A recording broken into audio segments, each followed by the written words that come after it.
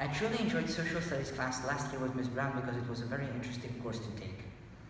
It was a uh, relatively new way of learning for me because before I mostly learned from a textbook and memorized what the textbook said. However, in this course, I have uh, we've learned many things using a creative approach like debating or creating board games. The most creative piece we've done throughout the school year was the board game project towards May.